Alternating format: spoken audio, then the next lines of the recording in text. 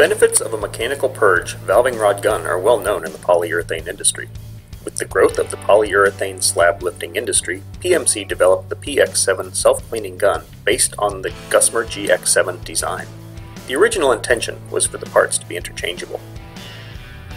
Over the course of 12 months, there have been cases of incompatibility with competitors' parts due to inconsistent part tolerances on the critical centerline parts. Here's one key example, the valving rod, packings, and mix module. Shown here is an example of the PMC valve rod and PMC packings.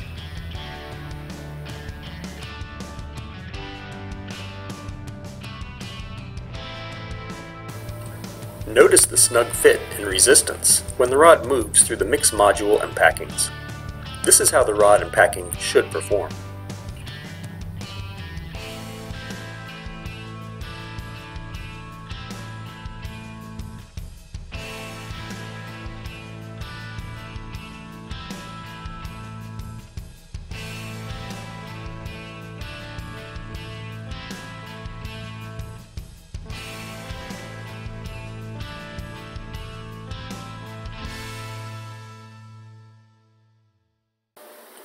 Here is an example of poor parts tolerance from the GX7.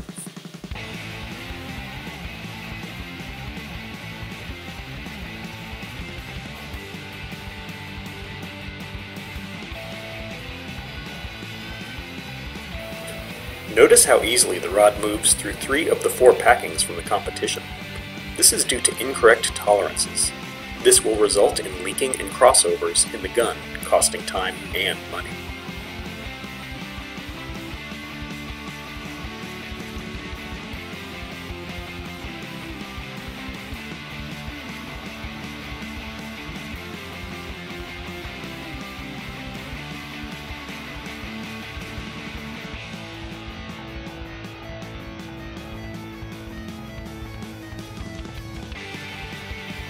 This is just one example of poor quality control.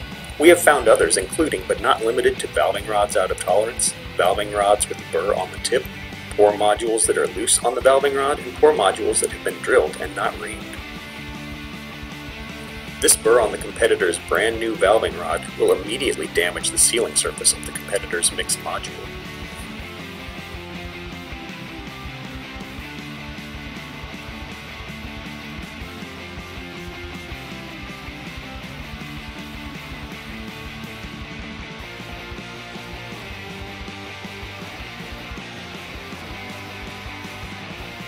Whether you are using the PX7 gun or GX7 gun, PMC strongly recommends that all critical centerline parts are genuine PMC parts. This will ensure correct sealing of materials and consistent triggering of the gun when spraying and pouring.